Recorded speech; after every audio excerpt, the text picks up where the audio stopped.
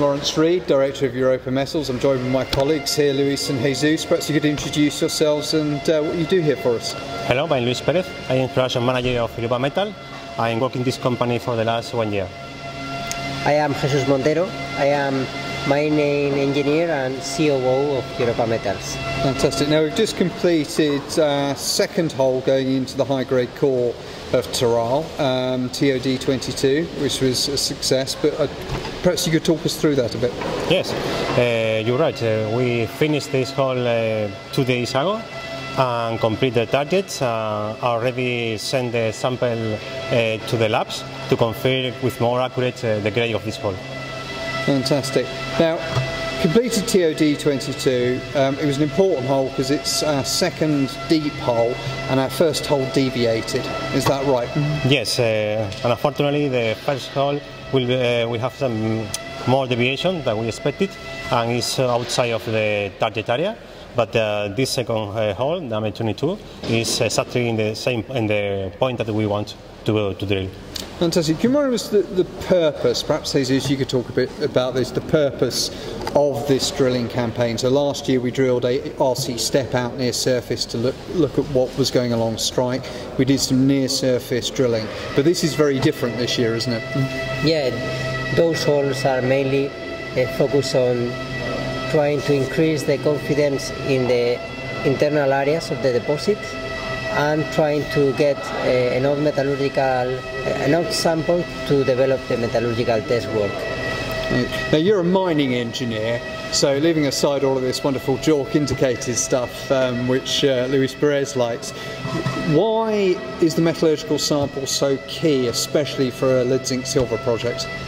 Well, uh, the, the process we will follow in the project is well known, is uh, flotation, standard flotation, but are very important the test work because we need to know exactly which is which are the characteristics of the concentrate that we could produce, which is the recovery we can expect from the process, and which is the size of the particles uh, we need to get in order to liberate the, uh, the mineral, the ore.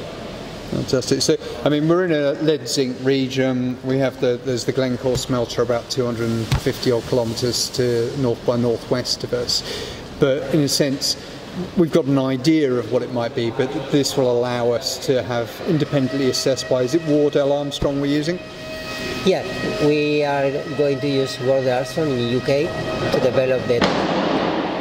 And we we will send the, the samples uh, as soon as we get all the core that is representative from the ore body. Fantastic, and that will give us an idea of the final, well, the concentrate, likely concentrate products that we might produce. Yes, of course. Uh, how much uh, grade will have the concentrate, how much silver will go in the lead concentrate, all those things uh, is something that we will test, and we will test too the how many steps, for instance, of grinding or uh, pressing we need to do. Which of course will have impact on, on cost, either high or low. Yeah, on cost and in the design of the plant itself. I mean, we were talking yesterday and we think it's probably zinc concentrate and a lead silver product. Yes, both. Yeah. We'll have both. So, yeah. Yeah, because in our project, uh, zinc is a bit higher, but it's very close to, to lead and we will produce two concentrates without problem with different two, two, two ways of selling or market. Yeah. Are you talking about possibility of the lead silver maybe going to something like an Italian smelter? Yes. Fantastic. So here we are, we've, we've now mobilised immediately onto TOD 23, which yep. is, I think, the exciting hole we've, we've sort of kept up our sleeve. So we've successfully, we know we can drill to depth now, but why is TOD 23 so interesting? Uh, it's so, interesting because the purpose of uh, this uh, last hole um, will be two. Uh, I'm two. The first one is to confirm the all historical uh, Peñarroya holes that we have a very big database from this information.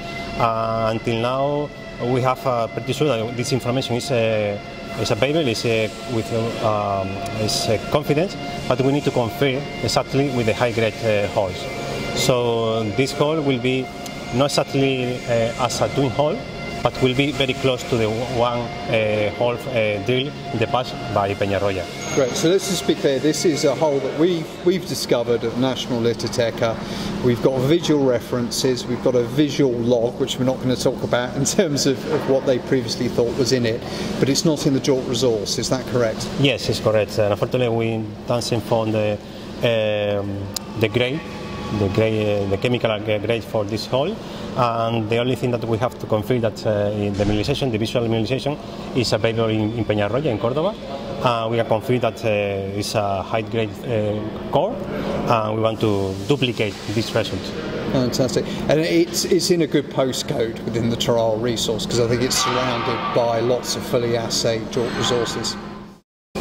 And the other thing we were talking about is also that this hole, as well as potentially looking at indicated um, being a, a, primary target for the metallurgical sample, is also having a look at how the structures work within Toral. Yes, the second one uh, target is uh, get more information about the structural, uh, structural uh, behavior of the, of the Toral project. Certainly, because at the moment we're seeing a series of high-grade shoots um, but in terms of what we understand about what they might be doing below that 1,000 metre mark and also potentially maybe out to, to along the extension, we, we know very little, I think, about what's going on below where the resource cuts off.